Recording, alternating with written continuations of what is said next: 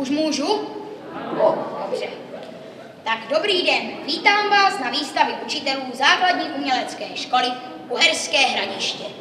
Většinu času tráví ve škole a předávají výtvarné dovednosti žákům. Teď se ale sedm učitelů ze základní umělecké školy v Uherském hradišti rozhodlo, že uspořádají vlastní výstavu. Ne ale žáků, jak je ve zvyku, ale svých děl.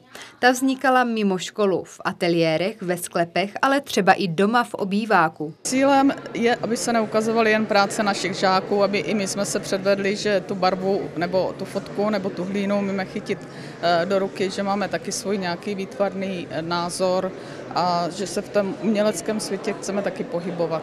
Vplout do uměleckého světa byl nápad učitele a fotografa Marka Malůška. Ten kolegy přesvědčoval celé dva roky. Někteří z toho totiž měli obavy. Pod tím tlakem práce a starostí anebo komerčních realizací malinko se nedostává na ten čas na to vlastní tvoření.